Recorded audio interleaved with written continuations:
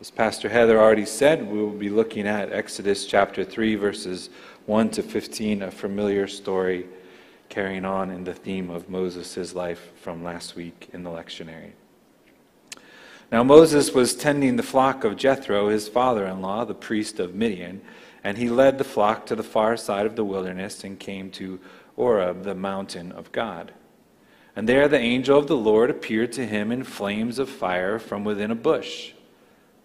Moses saw that the bush was on fire and it did not burn up.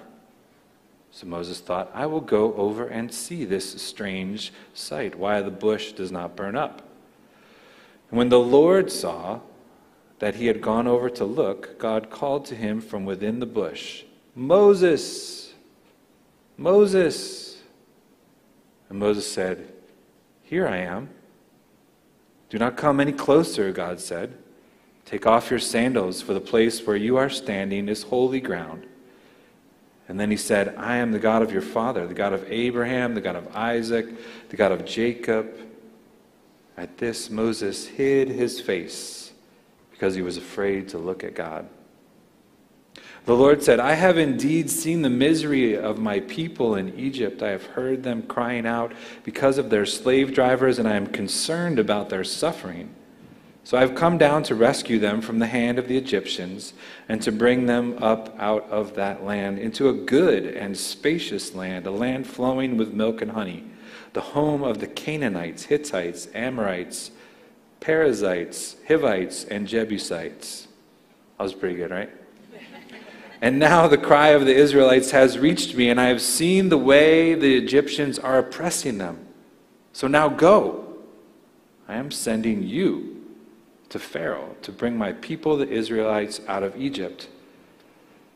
But Moses said to God, Who am I that I should go to Pharaoh and bring the Israelites out of Egypt? And God said, I will be with you, and this will be the sign to you that it is I who have sent you. When you have brought the people out of Egypt, you will worship God on this mountain. Moses said to God, Suppose I go to the Israelites and say to them, The God of your fathers has sent me to you, and they ask you, What is his name? Then what shall I tell them? God said to Moses, I am who I am. That is what you are to tell the Israelites. I am has sent me to you. God also said to Moses, Say to the Israelites, The Lord, the God of your fathers, the God of Abraham, the God of Isaac, and the God of Jacob, has sent me to you. This is my name forever, the name you shall call me from generation to generation. Friends, this is the word of the Lord. Today we fast forward into the adult life of Moses, from where Pastor Heather left off last week in her message about Moses' birth and being saved by these amazing midwives. So let's briefly fill in some blanks of the history of this call story of Moses in context. You may not remember that the Israelites are in Egypt because they sold themselves into Egyptian slavery in exchange for grain during a famine. Genesis chapter 47, if you're intrigued in that whole story. And then at the beginning of the book of Exodus, as Pastor Heather reminded us last week, the Israelite hero of that time dies, Joseph. And it says, A new king arose over Egypt who did not know Joseph. And the new Pharaoh fears the fruitful and prolific Israelites will overtake the Egyptians. And so he encourages his people to deal harshly with the Israelites. Ruthless Egyptian taskmasters oppressed the Israelites, and ultimately the new Pharaoh initiates a genocidal program focused on killing the Israelite boys at their birth. And as Pastor Heather reminded us of last week, courageous midwives, in particular Shiphrah and Puah, engage in a nonviolent resistance and save many Israelite boys, including one little boy named Moses. Moses, as we all know from our children's Bible stories, is put in the basket in the river, and he's raised in Pharaoh's household. And as Moses grows up, somehow, we don't know the details of this, but somehow he becomes aware of the fact that he is not ethnically Egyptian. And in adulthood, he witnesses an Egyptian beating a Hebrew who some again somewhere in the story he becomes aware that this Hebrew being beaten in slavery is his people. And in witnessing this act of violence, he kills this man. he flees Egypt, goes into the desert out of fear for his life, fear of being found out. And while at a desert well one day, he defends seven sisters from some bullying shepherds, and long story short, ends up marrying one of them named Zipporah, and he himself becomes a shepherd. And then one day, we pick up our story today, while he's tending his sheep, an angel of the Lord appeared to him in flames of fire within a bush. Moses saw that though the bush was on fire, it did not burn up. So Moses thought, I'm going to go over and see what this strange sight is. And when the Lord saw that he had gone over to look, God called to him from within the bush, Moses, Moses. These details, I think, are important. Moses sees the bush that was on fire and did not burn up. He thinks within himself, I'll go over and see. He goes over to see, and God speaks. Moses saw, Moses thought, Moses acted. God sees this whole occurrence, and God speaks. I read this week in some Jewish rabbinic traditions, they say that the bush that Moses saw has been on fire since the beginning of time. And Moses was the first person, perhaps the only person, to see it, to turn aside and look. According to this tradition, Moses was simply an everyday, ordinary person and the first person who was awake, attentive enough to see the shadows, to see the ant crawling on the floor, to see the spider over in the corner the first person alert enough to childlike wonder enough to go over and look at it. In fact, Rabbi Abraham Joshua Heschel said, What the rest of us lack that Moses possessed is not a will to believe, but a will to wonder. Noticing, moving slowly having a sense of curiosity, being able to appreciate the miraculous in everyday life is the secret to discovering and encountering the presence of God. Moses is a contemplative. Now, that may not shock you coming from the director of spiritual life ministries to make such a statement. I have my contemplative lenses and biases towards everyone I read in Scripture. But author James Finley says to be a contemplative means simply to observe care- carefully, to pay close attention. Finley continues Most of the things that we notice, we notice in passing on our way to something else. Then, every so often, something gives us reason to pause. Something catches our eye or draws our attention, and we're drawn from a moment to ponder or to reflect on that which awakened us in this way. You guys know what I'm talking about, right? You've had moments like that? This is what happened to Moses. And many of us myself included, are too busy, too hurried to rush to get on to the next meeting, to return that email, to do the next thing, to notice, to be awake, to see and recognize the burning bushes everywhere in our lives. Perhaps you've heard this brief stanza from Elizabeth Barrett Browning's poem where she says, earth's crammed with heaven, and every common bush afire with God. But only he who sees takes off his shoes. The rest sit around it and pluck blackberries. Has this happened to you? Can you recall a moment in your life where a seemingly ordinary moment or an object is transfigured into you? Infants face the observing of an act of kindness by a stranger, a silent moment between friends, or the smell of coffee on your porch before the word, world has begun to stir, gazing at a particular animal or bird or insect and just noticing its beauty. And then in that ordinary moment, we realize, as James Finley so eloquently says, we are in the cosmic dance of God.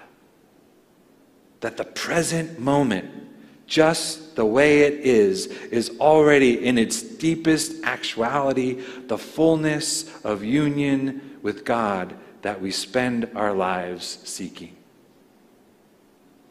Perhaps you think I'm crazy. Perhaps you think I had too much caffeine this morning.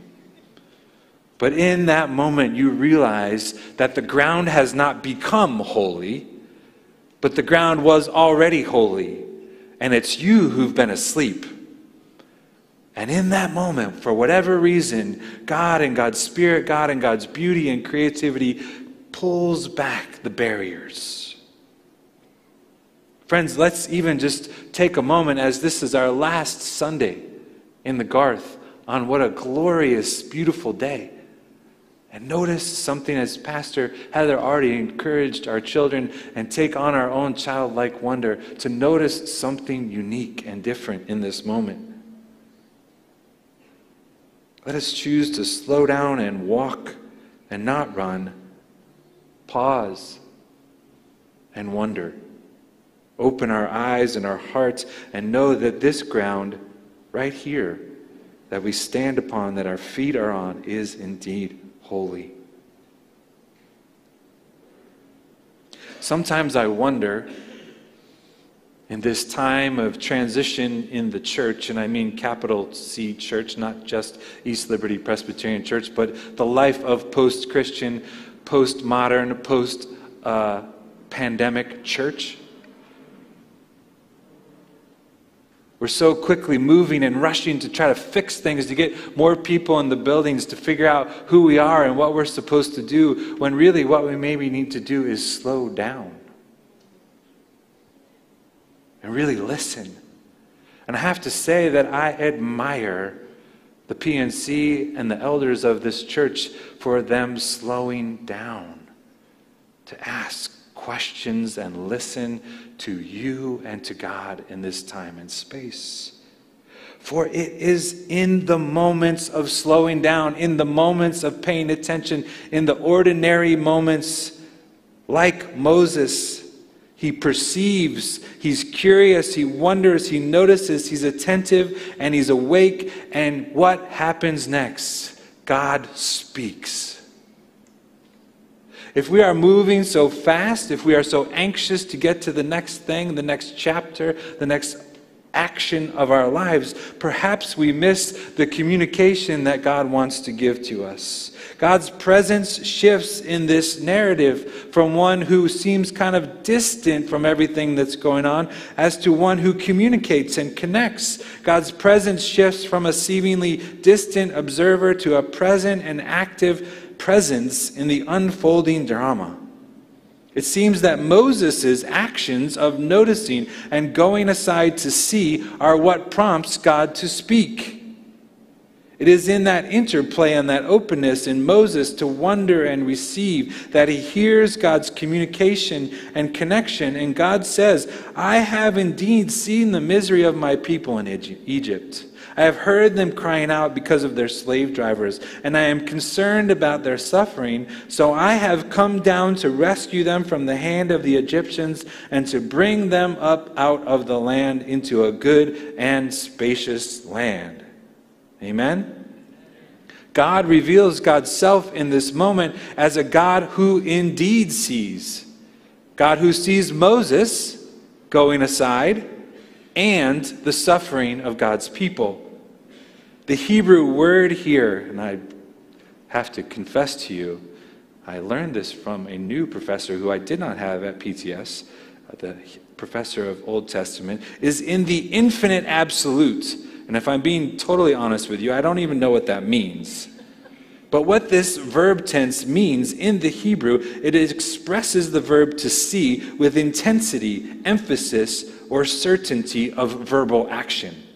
So the NRSV that we read today rightly translated, it says, I have indeed seen. Or as another translation says, I have clearly seen. I didn't just see, but I definitely saw. In other words, God is not caught off guard, shocked, or astonished, or startled by the conditions of the Israelites who are living under the oppression of the Egyptians. God has decidedly been paying attention and present to the suffering of God's people. And moreover, when God sees, God acts. I have come down to rescue them.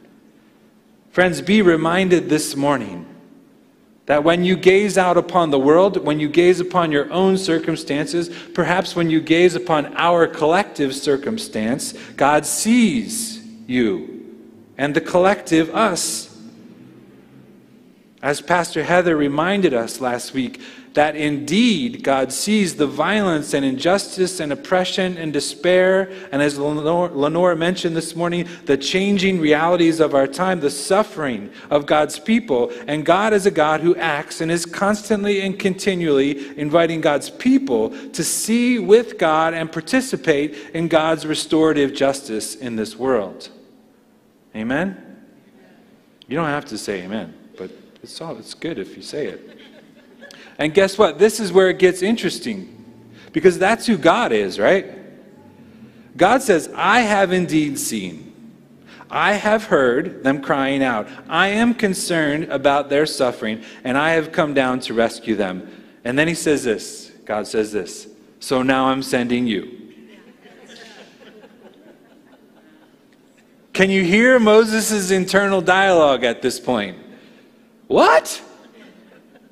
I was just minding my own business, tending my father in law's sheep, and if I had just passed by this strange sight, I would not be standing here with my shoes off, covering my face because I'm afraid to look at you. And wait a minute, God, it's you who said you saw the misery of your people. You heard them crying, you're connected with them, their suffering, and you came down to rescue them. What does that have to do with me?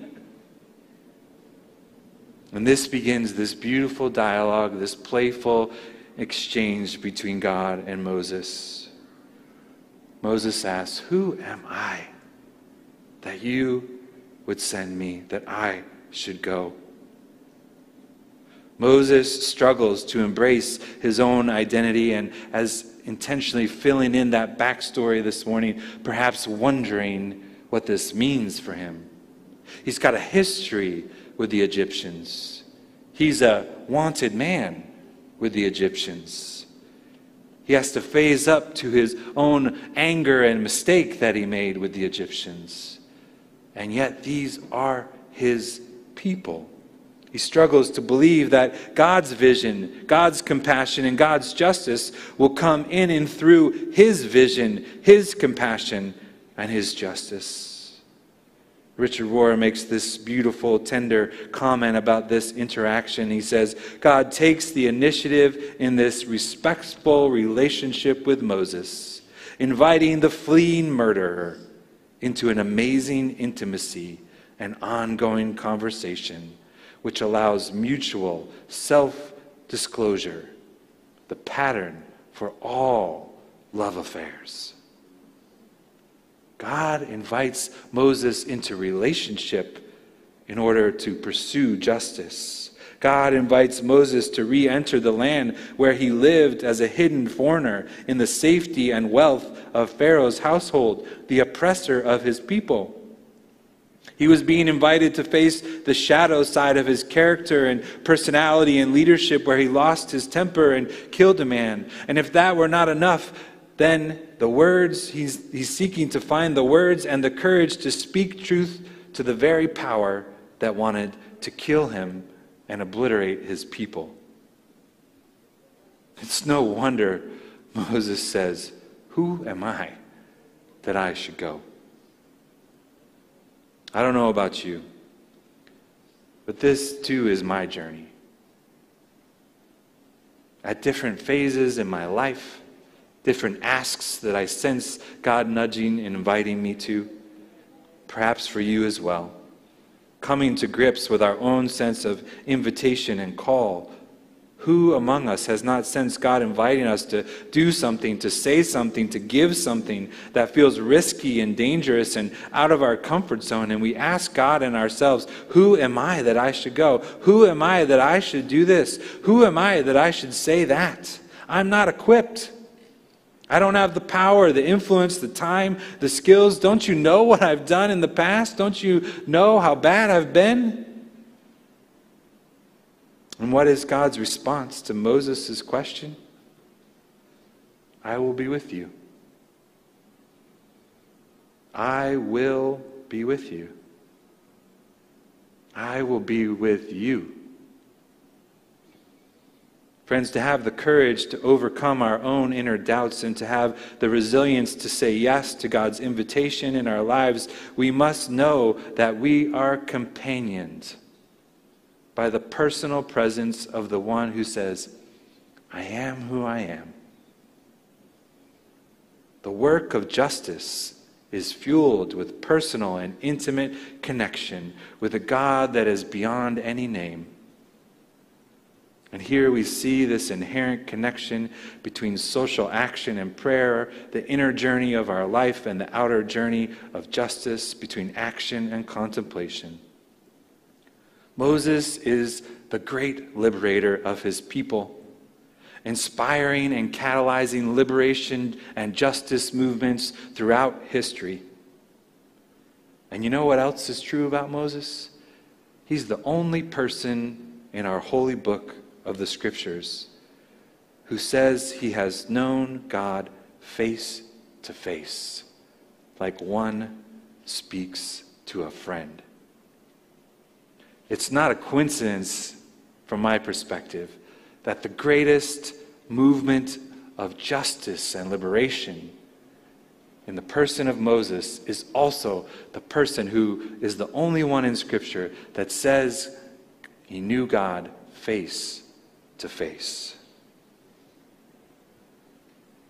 Well, I can't tell you what God might be stirring in these feeble, burning bush words this morning but I can ask you a few questions. Where's your invitation this morning? What stirred in your heart, soul, mind, or body in a moment of hearing one particular word or phrase or image? Was it an invitation to, to slow down or pay attention and be more awake to the bushes in your everyday, ordinary life of fire with God? Was it an inner nudge to pursue justice for others, to speak up to power in the circumstances that you're in? Was it Moses' question of personal identity and wondering who you are? Or was it finding simple comfort knowing that despite your own doubts in this life, God is with you? Where this morning did these ordinary words in this ordinary gathering of communal worship become extraordinary? Do you want to take some more time to turn aside and look and listen and be with those words later today? So that you, like Moses, might be a liberator of the oppressed and might be one who can say with confidence and humility, I know God, face to face like someone knows a friend. By God's grace and by God's mercy, kindness, and goodness, may it be so. Amen.